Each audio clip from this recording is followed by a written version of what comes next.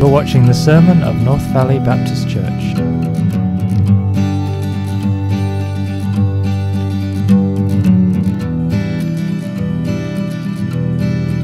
This week's sermon is preached by Pastor Scott McGrady.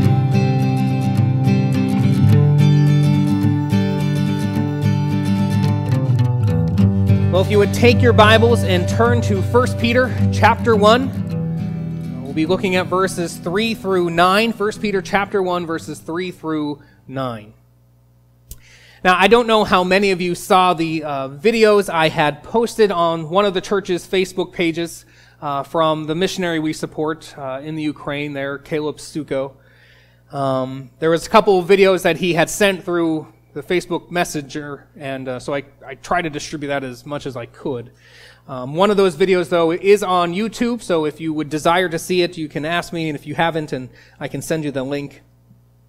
Um, but as he's there in Ukraine and, and talking about uh, whether or not Russia will invade the Ukraine, uh, he talked about what would prepare them for that. Uh, that that could be devastating. And so, what what could prepare them? And what he talked about was having an eternal perspective. He, he talked about the salvation that is in Jesus Christ. He talked about the future hope that Christ has purchased, uh, that Caleb said he was looking forward to. And he said that nothing could take that away.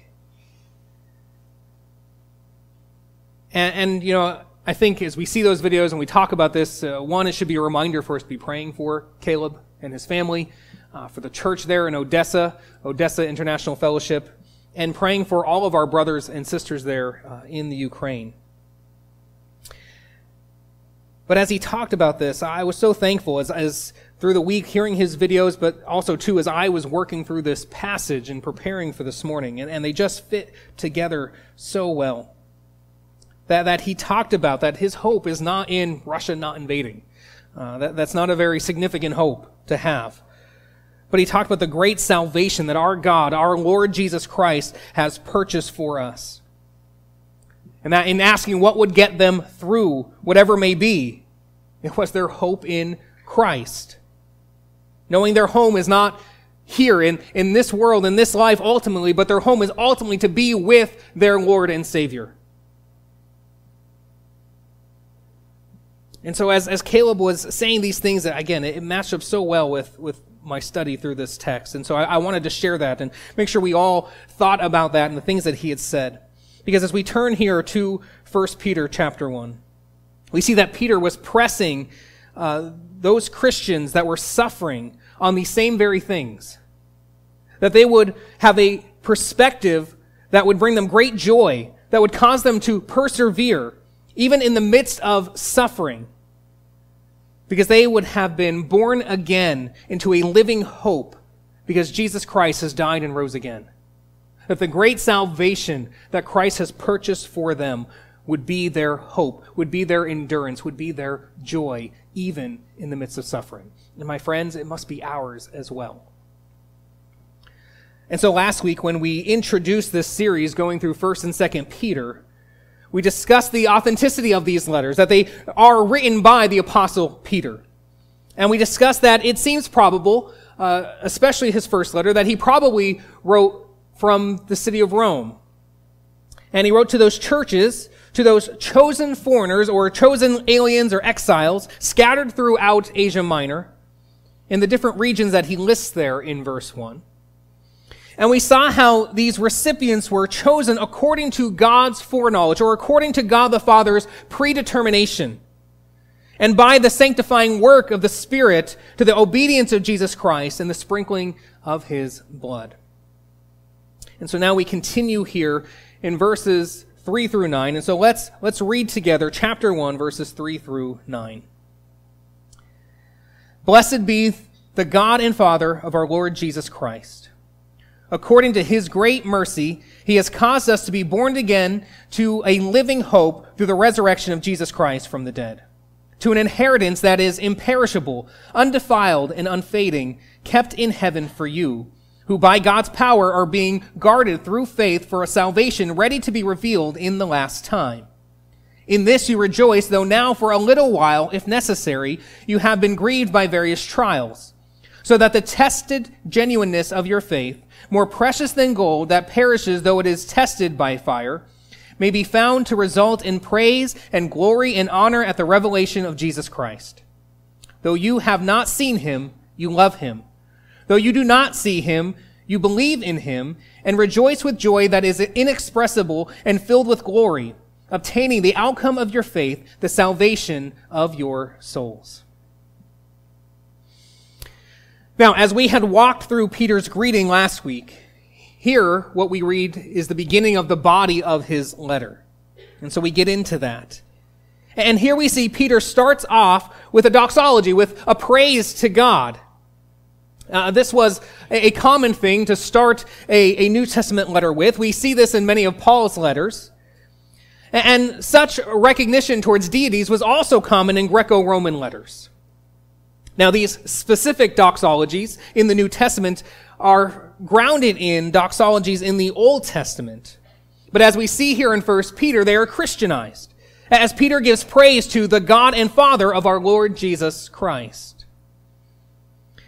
And as in most uh, other New Testament letters, it is only right for Peter to begin this way as he is addressing the hope, uh, the reasons, and the encouragements that these suffering churches have to stand firm, even in the midst of their suffering. And what we see here shows how followers of Christ can stand. Remember, we said the, the, the point of Peter's letter is to call these suffering churches to stand firm, to live holy lives. And so he's laying this foundation, so to speak, of how they can stand, even in the midst of their pain. And so Peter is pointing them ahead, not pointing them to their current situation, but looking beyond their current situation to what is to come, to their future hope. And so we see here in verse 3, it says that God has caused us to be born again to a living hope. And we see there in verse 3 that this is due to God's mercy. See, we deserve nothing but death and wrath from God due to our sin. And so really we deserve to already be in hell right now. That would be just for God to send us to hell. That's what we deserve. And yet, God has shown mercy. He's shown mercy to all, to anyone who's not already in hell. And yet, specifically to those whom he has saved, he has shown mercy by not sending us to hell by the idea that we will never be in hell, but because he has purchased for us such a great and awesome salvation. So his mercy is the reason he does not leave us as we are in our rebellion against him to suffer the eternal consequences of it. But instead, he has made us new. We have been born again, and as we see here, born into a living hope. And God's mercy has supplied this new birth to a living hope. And he has supplied it through the gospel, through the resurrection of Jesus Christ from the dead. And so all of this is what God has done. We are made new, given a new life in the power of Christ's resurrection, so that we are no longer who we used to be. And as one commentator points out, the fact that we are born again we should understand that we cannot take any credit for that rebirth any more than we can take credit for our natural birth. This is what God has done to make us new, to change us, and to make us born into a living hope. And this hope that we are born into in the new birth is a hope that could never be offered to us in the world. The world offers a hope that is based on wishful thinking, that is based on assumptions or circumstances. And when those assumptions turn out to not be fulfilled or when circumstances change, then that hope dies. No, but we who are saved have been born into a living hope through the resurrection of Jesus Christ. And so since Jesus is alive, never to die again, then our hope cannot die. And so then we can ask, what is this living hope? Well, we see there in verse 4. It's in reference to the obtaining of an inheritance. And when we think about an inheritance, we think about something we receive, something that's passed down to us, something given to us. And anything that we can receive in this life, in this world, is not anything that can last. Anything in this sin ridden world is something that's subject to rot or decay or corruption. But what we see about this inheritance is that it is undefiled. It cannot be ruined. It cannot be destroyed. It can't deteriorate or become corrupt. We also see here it is undefiled. It can't be ruined. Uh, there are no imperfections in it, and there will not be any imperfections in it. It cannot be stained, and it will never have any blemishes. It is undefiled, and it is unfading. It will not wither, it will not lessen, and it will not pass away. Anything in this life, like we saw when we were working through Ecclesiastes, is fleeting. It will not last. Everything on earth is subject to the d- destruction of moths and rusts, as Jesus said. Over time, they wear out, they break down, and circumstances change.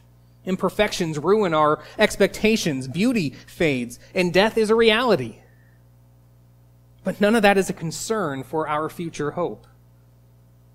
Matter of fact, we see at the end of verse 4 this inheritance is kept in heaven for us, for all of those whom God has saved. Now, this is a reality that is already fixed for us. And that's what Peter tells these chosen followers of Christ. God is keeping this for them. And think about what that means. That means that this inheritance is already a reality. God is right now keeping it for them. Now, it's a heavenly reality. So while Christians are on this earth, in this current state of things, they do not experience this inheritance yet, and yet it is nonetheless a present reality. It's already kept for them, being kept for them. Now, there are some who follow the false teaching where they believe that they have to work to obtain this inheritance. Uh, that this inheritance is not something that is kept and settled for them, but it needs to be, it needs to be obtained and kept by them in what they do. And so if they were to fall into some mortal sin and, and did not have the opportunity to make up for it according to their belief system, or for those too who are hoping in the fact that when they stand before God, uh, they're, they're trying to, to hope for the fact that their, their good may outweigh their bad, which all of that is the very definition of a dead hope for every single one of us. But all of these things is that we have to work for this inheritance and we have to keep this inheritance. But that is not what we see here in the text. That is not what Peter says. This inheritance is already kept by God for us. God keeps it. And if you are trusting in Jesus Christ alone for your, the forgiveness of your sins, if your right standing before God, you know, is only because of Christ's righteousness, not of anything of yourself, then you can trust that God is keeping this inheritance for you. This future hope is a present reality for you. It is secure for you, for all who believe. For you who, according to verse 5, who God's power are being guarded through faith for a salvation ready to be revealed in the last time.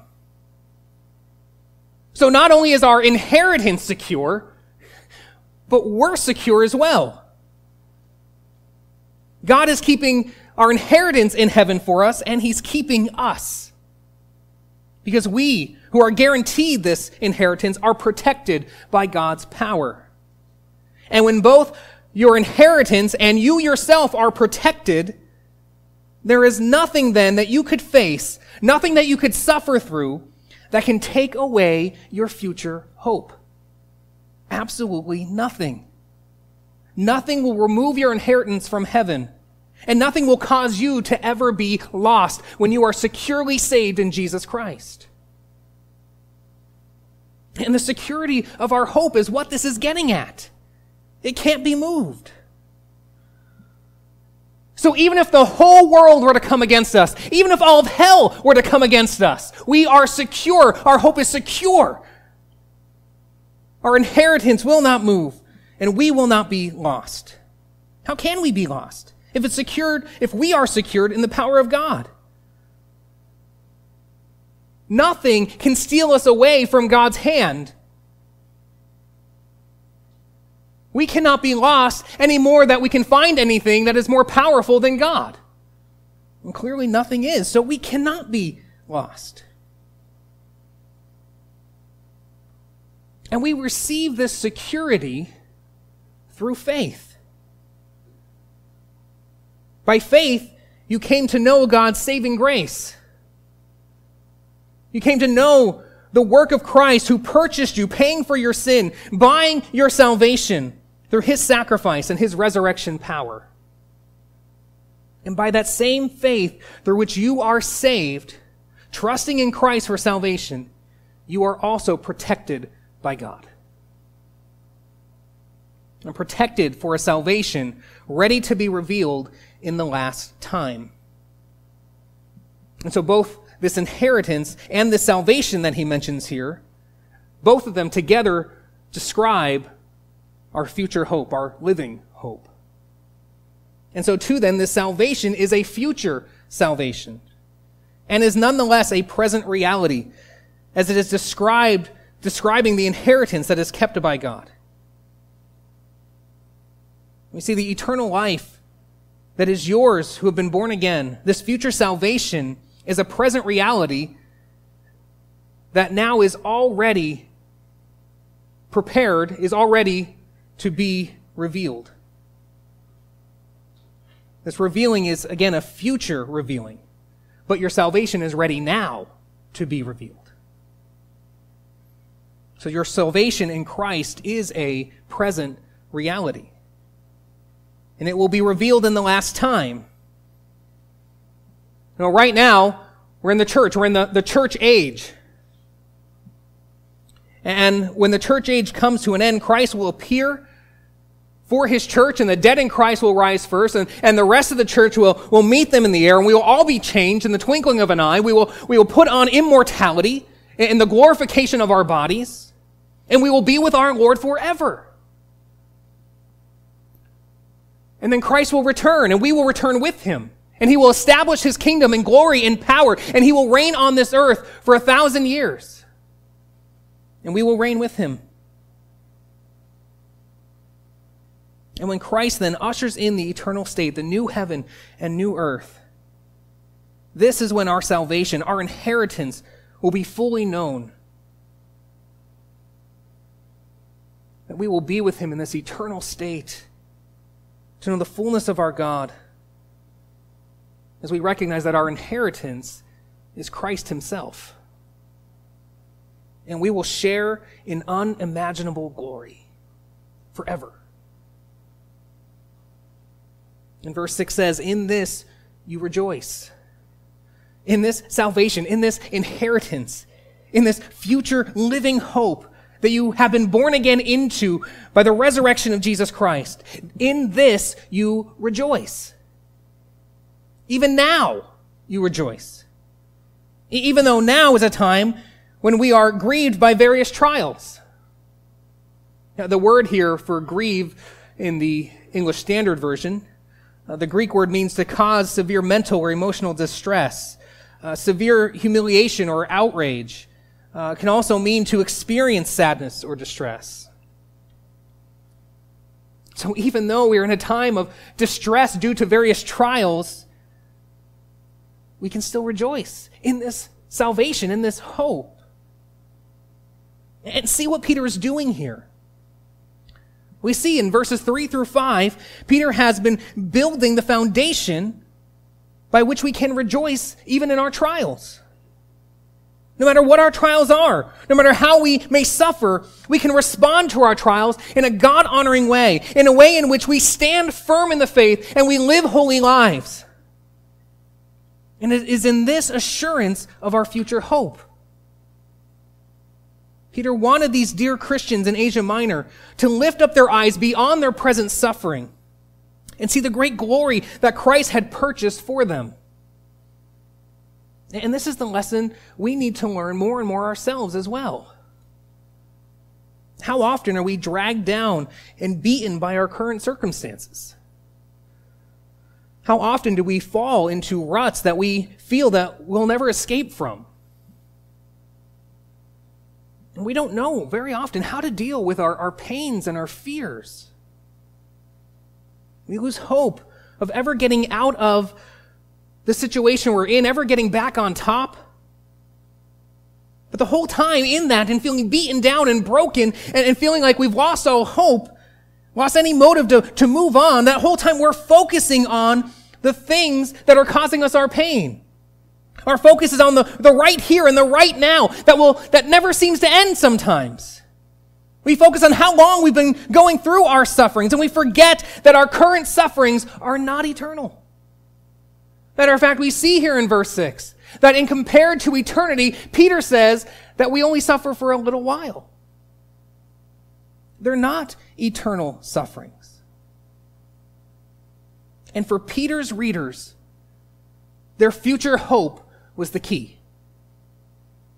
And no matter how hard their trials were, no matter how painful their persecution that they faced, Peter could point them to what was beyond the here and now and remind them of their future hope.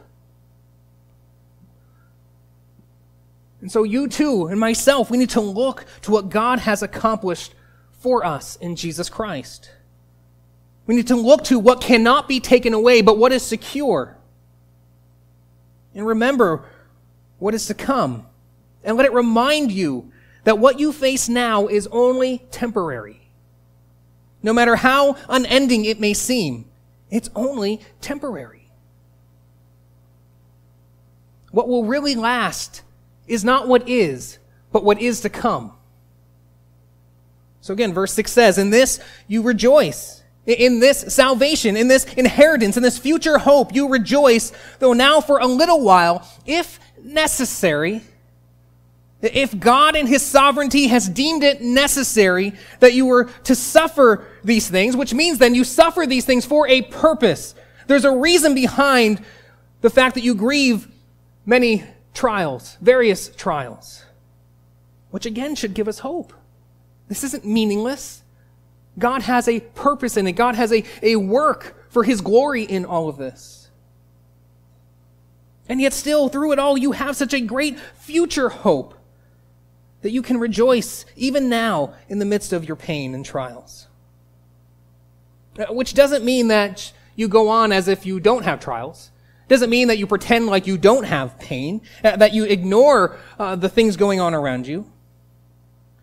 It means that though, in the midst of your pain, there is still a reason to rejoice. A reason to rejoice that your current sufferings cannot take away.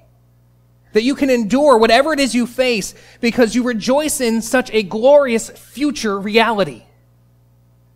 And it is a reality, or else there'd be no basis for us rejoicing. This is a guarantee for all who believe upon Jesus Christ for salvation. And then, too, we see at least one purpose is given to us of why God has it that we would go through trials and suffer. Verse 7 tells us these trials are so that your faith may be proven genuine. True saving faith is a persevering faith. And so standing firm through trials, not falling away from the faith, but holding to that faith until the end will demonstrate that your faith is true, that it is genuine. And Peter compares such faith to gold. Gold was proven genuine by being held in the fire. Anything that was not gold was destroyed by the fire. And the gold itself was refined and remained, even through the flame. And Peter tells these suffering Christians that their faith was of greater value than even refined gold. Gold that is makes it through the fire. For these true believers can persevere no matter how much pain they face or would face. In the midst of pain, they could rejoice in their Lord's provision, in the security of their eternal hope. And so have all the more confidence as they persevered that their faith was, faith was genuine. And so have all the more confidence in the assurance of their hope. The inheritance kept by God and the salvation awaiting to be revealed. They could persevere. And so in the day that Christ is revealed, when he comes again to bring his reward for his people, such tested and persevering faith would result in the believer's reward, in praise and glory and honor.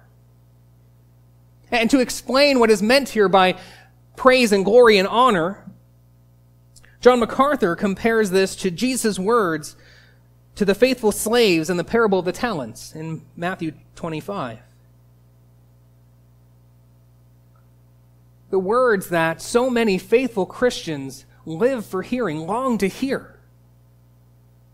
Well done, good and faithful slave. We long to hear those words one day. We live for that. And if you're sitting here and, and if you're not truly a believer, you, may make a profession of faith, but if you're not in Christ, if you have not truly repented of your sins and are trusting in Christ alone for your salvation, uh, then to say you're living for those words, that, that those words are a motivation for you now to persevere, that, that may not make a whole lot of sense to you. But for those of us who are longing for that day to stand before our Lord, to see Him as He is, to hear Him say to us, Well done, good and faithful servant, what a joy that will be. What motivation that is for us to live for Him now, to persevere through whatever we face now. To long to hear those words and in hearing those words, know we are with him and to be with him, to worship him and serve him like we've never been able to before, to be with him for all eternity. And when we come into our inheritance and that great salvation is revealed and fully experienced, to know him, we long for that. And we know that it is only by grace that we can look forward to that day. It's only because of his work in us that we could ever possibly hear the words, Well done. Because by His grace we have been saved and born again into a living hope. His mercy has supplied this for us through the resurrection of Jesus Christ. And so, with the thought of that day when Christ is revealed, Peter knows that the true believer's longing is to see Christ, is to be with Him. And that is our great inheritance. He himself is our inheritance. And so we persevere through whatever we must suffer through when we know that on the other side, we're going to be with Jesus. That when this life that has so many trials and pains on this earth now, when it's over, we're going to be with Him. And having that secure hope, having that guarantee causes us to persevere that it is worth going through whatever it is we face, because on the other side is Jesus. On the other side is unspeakable glory, is our great inheritance, our living hope, fully realized. And so we persevere, we press on. Because there's nothing greater that we could behold but the glory of Jesus Christ. There's no more that we could desire than to know and experience our glorified Lord. And that is what is to come. That's not yet, that's what's to come.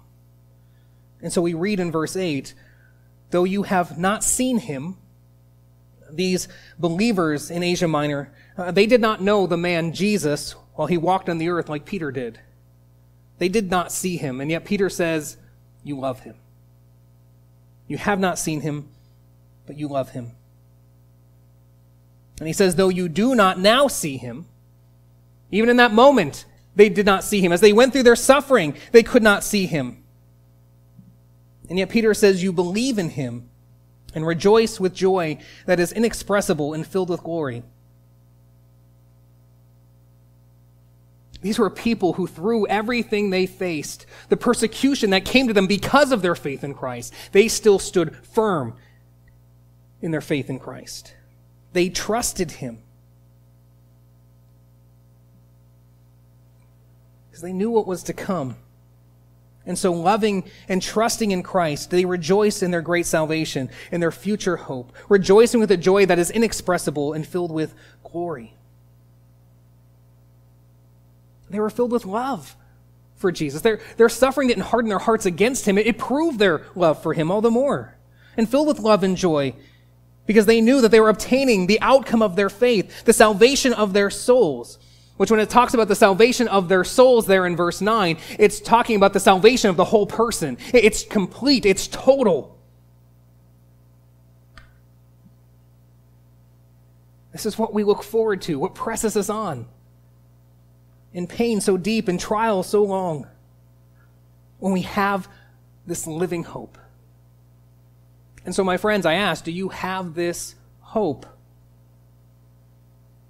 That you have a future salvation where instead of experiencing eternal wrath that you have earned in your disobedience to your Lord, that you have earned in your sin against your Creator, in your rebellion against your King, that instead of knowing that wrath you deserve, you would know God's mercy you would experience His grace, that you would be saved, your, your whole person made new, that right now you are being made new, but the day is coming when you will be new, and you will stand before your Savior whole and like Him who is holy and glorious. When you see Him, that you can serve Him and worship Him for all eternity. Do you have such a great hope? This living hope. Have you turned from your sin and trusted in Jesus alone to save you from your sin? And so, because Jesus has died and rose again, he has caused you to be born again into this living hope. It is this hope that Peter calls suffering Christians to stand on through all of their trials, that they would persevere. Here is where your faith is shown genuine. That even though you suffer in this life, you stand firm with your eyes fixed on the future hope of being with your Savior, with your Lord, with Jesus. You stand firm in receiving your reward and entering into that inheritance. This living hope is such a glorious hope. It is a guarantee for all who are trusting in Christ that despite the pain we face, it can cause us to persevere with exceedingly great joy. And so, my friends, do you have this hope? Are you trusting in Jesus Christ alone for your salvation?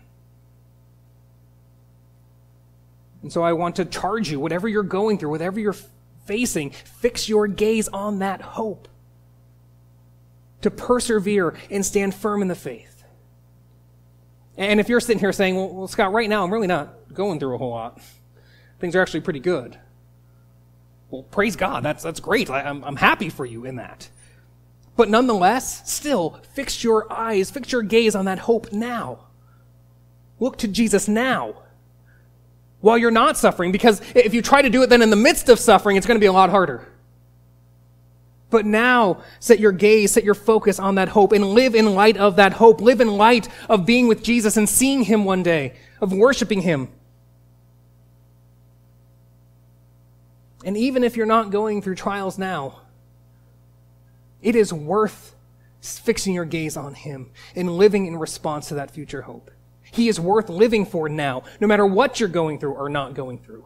He is worth your life being lived for His honor and His glory, that when you get to the end of this life, you will hear the words, Well done, good and faithful servant.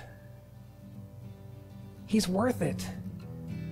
In all of our joys and in all of our trials, He's worth it, our great and awesome God who is mighty to save. Trust in Him, live in light of this living hope that you who trust in Christ have been born into. Let's pray.